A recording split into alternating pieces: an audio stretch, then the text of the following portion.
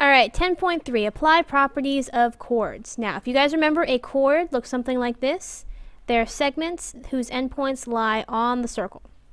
In the same circle or in congruent circles, two minor arcs are congruent if and only if their corresponding chords are congruent. So, arc AB is congruent to arc CD if and only if the chord AB is congruent to the chord CD. Okay, so for example, in the diagram, these two circles are congruent. Uh, also, the chords B, C, and EF are congruent, and the measure of arc EF is 125 degrees. Find the measure of arc BC. Okay, so this equals this. This is 125 degrees. Hopefully you guys can see that this also has to be 125 degrees. Okay, because BC and EF are congruent chords, incongruent circles, oops, congruent's already written, circles, the corresponding minor arcs B, C, and EF are congruent. So the measure of arc BC equals the measure of arc EF, which equals 125 degrees. Alright, theorem 10.4. If one chord is, is a perpendicular bisector, remember perpendicular means it makes a 90 degree angle, and bisector means it cuts it exactly in half.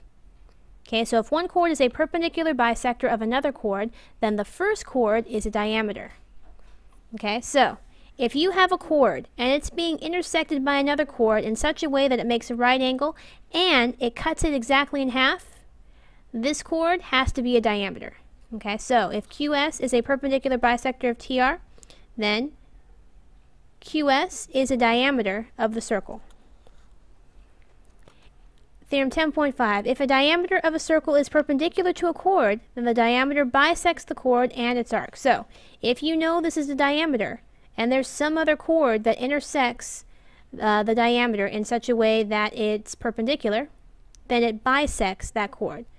So if EG is diameter and EG is perpendicular to DF, then HD is congruent to HF and arc GD is congruent to arc GF.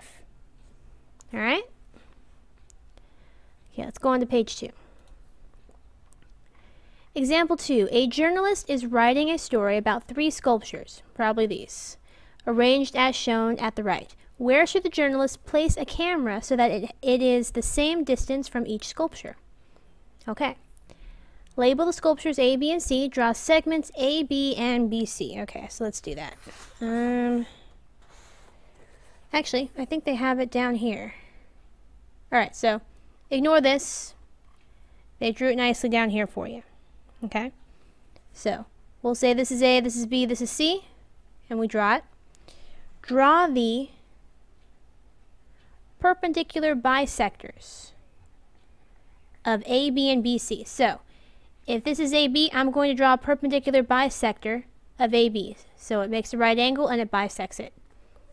I'll also draw a perpendicular bisector of BC. Right angle and it's bisected. By theorem 10.4, these are diameters of the circle containing A, B, C, A, B, and C. Okay, so all we have to do is figure out where these uh, perpendicular bisectors intersect, and that's where we want to place our camera. So we find the points where the bisectors intersect. This is the center of the circle through A, B, and C, so it is equidistant or equal distant, equal distance from each point. Alright, example 3. Use the diagram of circle E to find the length of BD. Okay, so here's BD. This looks like a diameter. Tell what theorem you use. Diameter AC is perpendicular to BD. So by theorem 10.5, AC is perpendicular to, A, to BD and BF equals DF. Then it bisects it. So if this is 6, then this also has to be 6, which means the whole thing has to be 12, because 2 times 6, oh, 2 times um, BF, I guess, or FD. FD and DF are the same. I guess I could write it the same way.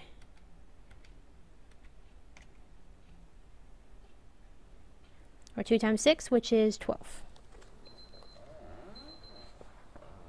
Okay. All right, 10.6. In the same circle or congruent circles, two chords are congruent if and only if they are equidistant from the center. Okay, so AB is congruent to CD if and only if this equals this. EF, whoop, EF equals EG. Okay, let's go on to page 3.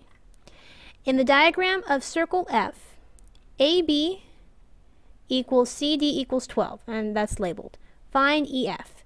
Okay, chords AB and CD are congruent, so by theorem 10.6, they are equidistant from F. Therefore, EF equals GF. EF equals GF, so 3x equals 7x minus 8.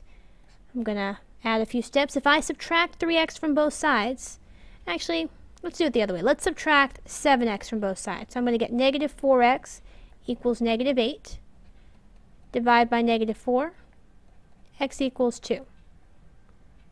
So EF equals 3x, or 3 times 2, which is 6. Alright, and you guys can do the checkpoint. That's all.